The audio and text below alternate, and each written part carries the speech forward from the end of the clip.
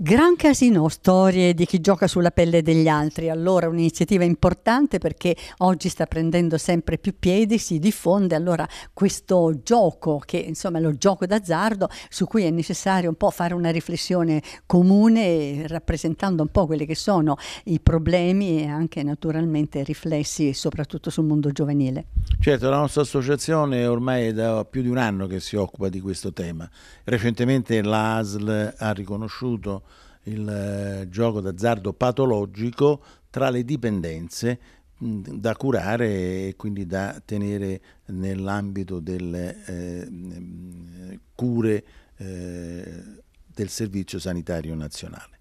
E la, la dirigente della nostra uh, equip di esperti ha già svolto un'indagine eh, con dei questionari che sono stati distribuiti nelle scuole e allora nell'occasione del quarantennale della fondazione dell'associazione abbiamo voluto donare soprattutto ai, agli studenti, saranno presenti gli studenti delle ultime classi di, degli istituti superiori di Civitavecchia, sono già 600 ragazzi che eh, sono stati invitati a partecipare a questa rappresentazione teatrale che eh, è stata già eh, portata all'attenzione nazionale addirittura è stata rappresentata anche alla Camera dei Deputati.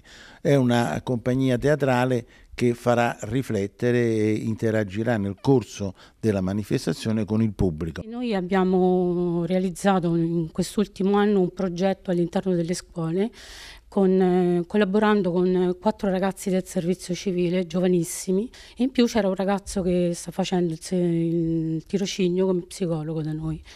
E loro hanno costruito un, un, doppio questionario e abbiamo raccolto quasi 2200 questionari. L'indagine eh, indagava quello che è l'approccio dei giovani dai 13-14 anni ai 19 anni rispetto al gioco d'azzardo, perché non possiamo parlare in una fascia d'età così giovane di patologia. Gran parte dei ragazzi eh, giocano online nel privato della loro stanza con le prepagate, quindi eh, sono veramente tanti. Tutto questo però non è emerso se non magari in una situazione di, eh, di dialogo no? con, con i ragazzi o con le classi.